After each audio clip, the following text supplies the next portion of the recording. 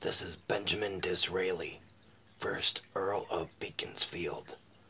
He was a politician that lived between 1804 and 1881. He served as the Prime Minister of the United Kingdom